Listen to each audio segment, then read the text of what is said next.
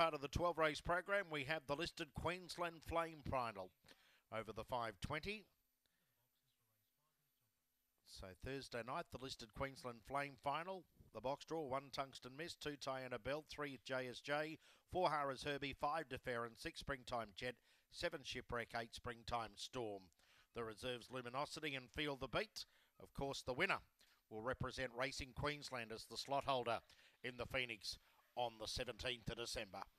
Green light race five.